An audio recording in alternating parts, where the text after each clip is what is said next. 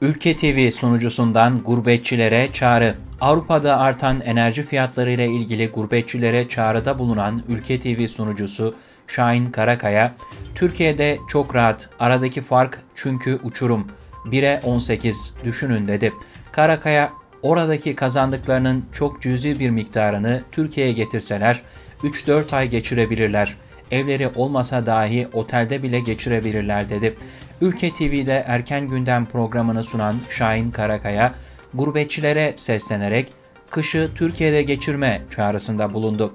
Avrupa Birliği üyesi ülkelerde artan elektrik ve doğalgaz fiyatları üzerine konuşan Karakaya, gurbetçilere kışı burada geçirin önerisini sundu.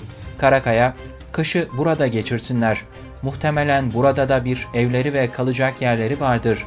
Eğer orada iş güç yoksa ya da bu kışı en azından geçirecek derecede ekonomik durumları varsa ki Türkiye'de çok rahat, oradaki kazandıklarının çok cüzi bir miktarını Türkiye'ye getirseler 3-4 ay geçirebilirler.